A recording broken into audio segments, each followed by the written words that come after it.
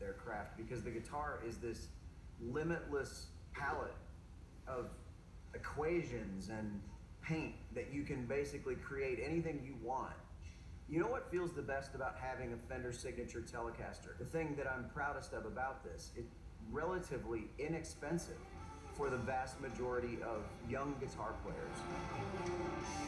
You know, this isn't one of the ones when you walk in a music store that they're gonna say, whoa, don't touch that. Sensitive instruments. This isn't sensitive, this is a Telecaster. It's a cutting board with a neck.